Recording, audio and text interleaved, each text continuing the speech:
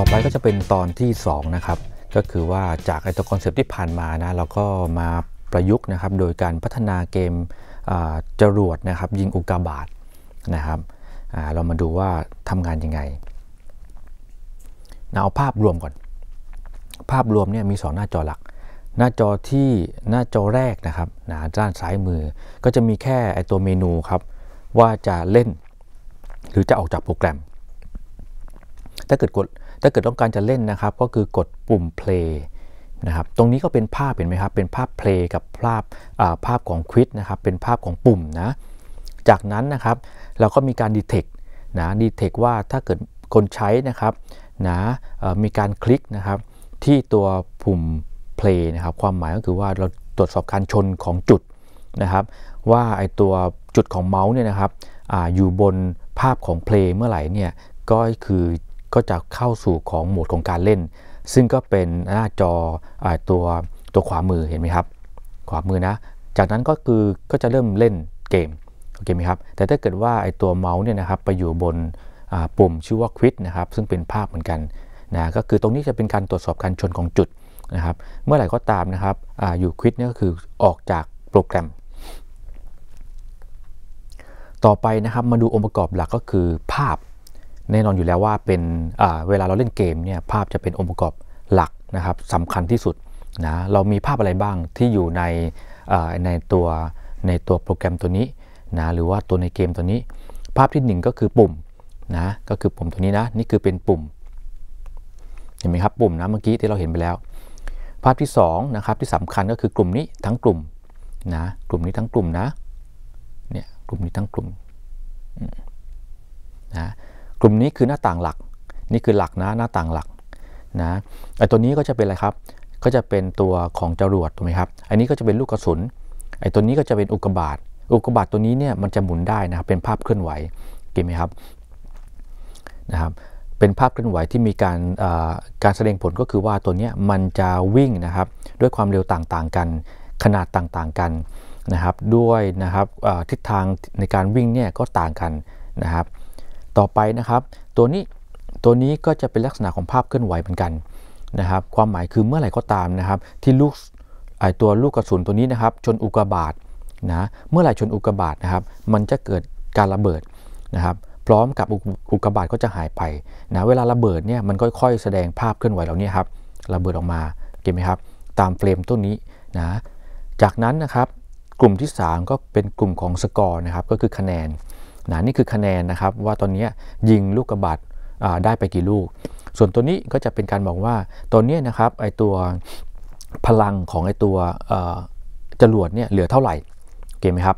อันนี้ก็จะคิดเป็นร้อยเปอร์เซ็นต์นะครับนะถ้าเกิดว่าจรวดนะครับโดนลูกอุกบาทลูกอุกกาบาตชนนะครับ พลังก็จะหายไป 10นะเมื่อไหร่โดน 10 ครั้งเนี่ยนะไอจรวดก็จะจะ จะตายนะครับ ความหมายคือจรวดก็จะหายไปนะเราก็จะต้องอาจจะต้องเริ่มเล่นใหม่ หรือว่าเราจะมีการเพิ่มจรวดขึ้นมาอีกลำหนึ่งก็ได้นะครับต่อไปการทำงานของเกมหลักๆนะครับสร้างตัวละครนะก็คือตัวละครที่ที่บอกมาเมื่อกี้นะครับ แต่ละตัวก็จะมีเงื่อนไขในการสร้างอยู่นะครับ ลองไปอ่านดูนะต่อไปการเคลื่อนที่ของตัวละครนะครับ นอกจากสร้างตัวละครในตำแหน่งต่างๆ แล้ว ตามเงื่อนไขต่างๆ แล้วนะครับ เวลาเราเคลื่อนตัวละครเนี่ยมันก็จะต้องมีเงื่อนไขของการเคลื่อนด้วย อย่างเช่นว่าจรวดเนี่ยเคลื่อนยังไงนะจากซ้ายไปขวาหรือว่าเคลื่อนแค่ตำแหน่งนะครับในแนวแกน x หรือแกน y อย่างเดียวหรือทั้ง 2 แกนเก็ตไหมครับ แล้วเคลื่อนด้วยใช้ใช้ปุ่มอะไรในการเคลื่อนนะครับกระสุนก็เหมือนกันนะครับมันเคลื่อนยังไงนะครับกระสุนก็คือวิ่งจากล่างขึ้นบนถูกไหมครับนะก็คือว่ากระสุนเนี่ยเริ่มต้นในการวิ่งเนี่ยนะครับก็คืออยู่ตรงอะไรครับหัวหัวของจรวดถูกไหมครับเมื่อไหร่นะครับ จรวดมีการยิงนะครับ ก็คือว่ากดปุ่มบนคีย์บอร์ดนะครับ ยิงเมื่อไหร่นะครับ มันกระสุนตัวนั้นนะครับก็จะเคลื่อนที่จากหัวจรวดหน้าตำแหน่งที่เป็นหัวจรวดอยู่ตรงไหนก็ก็อยู่ตรงนั้นแหละอ่ามันก็ออกจากตรงนั้นนะอุกกาบาตก็เหมือนกันนะครับ มันก็จะหมุนด้วยหมุนรอบตัวเองด้วยนะครับ จากนั้นเนี่ยนะครับมันก็จะเคลื่อนค่อนข้างเคลื่อนจากข้างบนลงมาข้างล่างนะครับนะโดยที่ตำแหน่งในการเคลื่อนก็คือก็เราสามารถกำหนดได้นะครับ เคลื่อนในแนวเฉียงเฉียงเฉียง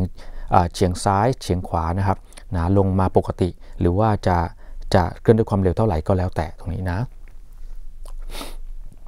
การลบตัวละครนะครับนะลบตัวละครเนี่ยจรวดเนี่ยนะครับหนึ่งลำเนี่ยนะถ้าเกิดว่ามันมันมีพลังเป็นศูนย์เมื่อไหร่นะครับ เราก็จะลบนะครับลบลบไอตัวจรวดแล้วก็สร้างสร้างขึ้นมาใหม่ กระสุนก็เหมือนกันนะครับสดกระสุนนะครับ ถ้าเกิดว่ามันชนลูกกระบาดนะครับ ลูกกระสุนเราก็จะลบไป อุกกาบาตก็เหมือนกัน ถ้าเกิดว่าถูกกระสุนชนนะครับ มันก็จะต้องลบไอตัวอุกกาบาตลูกนั้นออกไปจากหน้าจอ การคำนวณคะแนนนะคะแนนเนี่ยเราจะคำนวณก็แล้วแต่ว่าเราจะใส่เงื่อนไขยังไงนะครับ เวลาคำนวณคะแนนก็คือว่าเราจะนับจำนวนลูกกระบาลูกอุกกาบาตนะครับที่ที่โดนกระสุนมันยิงนะครับ นี่คือนี่คือคะแนน1 1ลูกลูกลูก อุกกาบาต1ก้อนนะครับก็คือ 1 แต้มนะครับการคำนวณพลังของจรวดนะครับ